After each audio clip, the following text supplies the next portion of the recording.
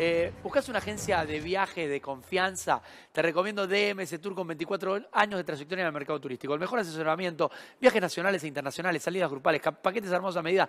Vení, Sil, venga la directora de marketing, Silvina Panizzi, mi amiga, que hoy me va a llevar a viajar. ¿A, dónde? Hoy te voy a llevar a una salida grupal que va a ser el 10 de marzo. ¿A dónde me voy? El 10 de marzo de 2019 nos hacemos Magia de India y Nepal. Estamos, es una salida que nuestro sponsor, por supuesto, es Freeway, que es nuestro operador responsable, que siempre nos apoya en todo y nos avala siempre. Así que bueno, tenemos los aéreos con Qatar. Eh, son 15 eh, noches con desayuno en, categoría superior, la hotelería, por supuesto. Y bueno, y vamos a visitar Delhi, Agra y Jaipur, que es el triángulo de oro. Bellísimo. Entrar a India es sentirse en un mundo único, te puedo asegurar.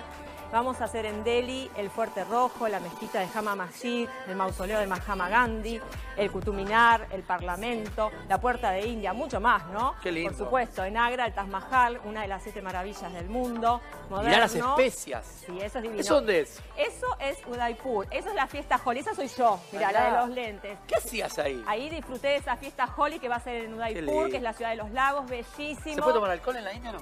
Sí, se puede ah, tomar. Por favor, vayan porque realmente es una experiencia increíble convivir con la gente de allá, sentir que, estás eh, todos unidos por lo mismo. Realmente vale la pena eso. Es Estamos en Varanasi después, donde está el río Ganges, el río sagrado del hinduista, donde se hacen los rituales. Hay dos tipos de, de embarcaciones que se hacen. Una a la noche es la ceremonia principal del Artis, en donde está todo lleno de incienso, eh, cánticos. Es un mundo aparte, te puedo asegurar. ¿Cuántos cupos tenemos para esto? Y perá, también vas a hacer Nepal. Ah, Nepal es el país del, del budismo. La capital del Himalaya.